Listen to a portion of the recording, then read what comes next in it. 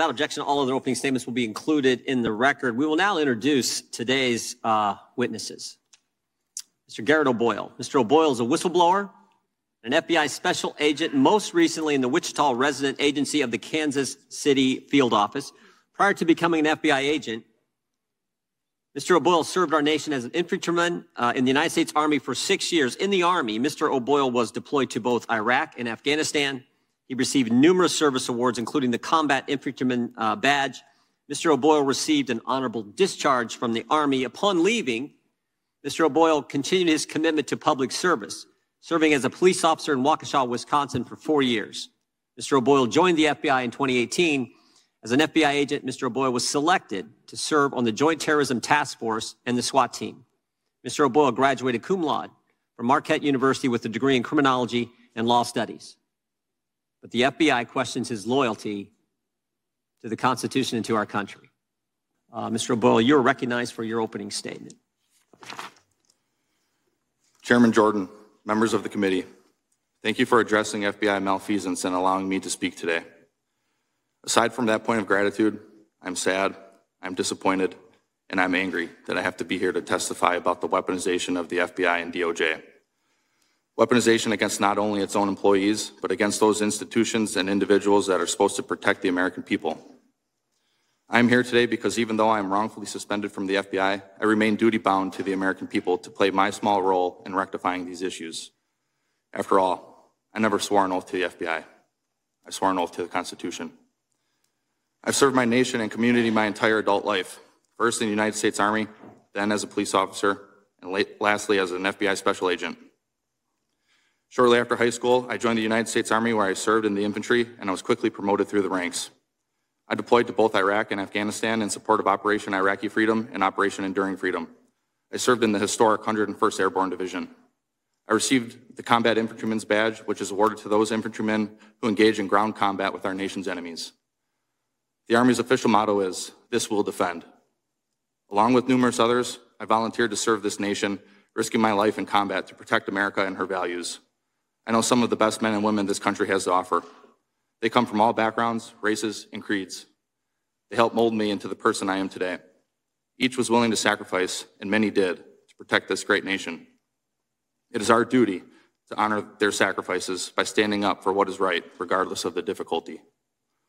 After serving in the Army, I became a police officer. Police officers, like me, are imperfect beings, but we strive to uphold the law and the Constitution.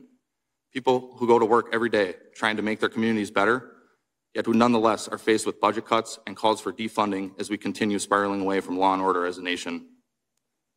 While serving as a police officer, I finished my bachelor's degree graduating with honors in criminology and law studies. Shortly thereafter, I began the long road to becoming an FBI special agent a position I once understood to be the pinnacle of law enforcement, and a way to continue to serve this nation and protect and defend the Constitution. During my four years as a special agent, I received the highest annual review an employee can receive. I volunteered for, tried out for, and was selected for an FBI SWAT team. I also volunteered for, tried out for, and was selected for a new unit the FBI created. I also received an award for my work on an anti-abortion extremism case. I've been smeared as a malcontent and subpar FBI employee. This smear stands in stark contrast to my life in public service. This smear campaign, disgusting as it is, is unsurprising. Despite our oath to uphold the Constitution, too many in the FBI aren't willing to sacrifice for the hard right over the easy wrong. They see what becomes of whistleblowers, how the FBI destroys their careers, suspends them under false pretenses, takes their security clearances and pay with no true options for real recourse or remedy. This is by design. It creates an Orwellian atmosphere that silences opposition and discussion. We know what is right to do, yet we too often refuse to do what is right because of the difficulty and suffering it incurs. I couldn't knowingly continue on this path silently without speaking out against the weaponization I witnessed, even if it meant losing my job, my career, my livelihood, my family's home, and now my anonymity. It's up to members of this committee, current and former FBI employees, and indeed all Americans to ensure that the weaponization of our own government against the people comes to an end, no matter the personal cost. As James Madison pr prudently opined, in framing a government which is to be administered by men over men, the great difficulty lies in this. You must first enable the government to control the governed. In the next place, oblige it to control itself. The safeguards currently in place at the FBI are clearly inadequate, and must be reworked to protect whistleblowers and others who are inappropriately targeted. The FBI can extract whatever they want from me. I'm willing to bear that burden. I've sworn to defend this country from enemies, both foreign and domestic, even if that means sacrificing my life. I've lived that oath out since first enlisting in the Army, consistently saying, Here am I, send me. My oath, however, did not include sacrificing the hopes, dreams, and livelihood of my family. My strong, beautiful, and courageous wife, and our four sweet and beautiful daughters who have endured this process along with me. In weaponized fashion, the FBI allowed me to accept orders to a new position halfway across the country.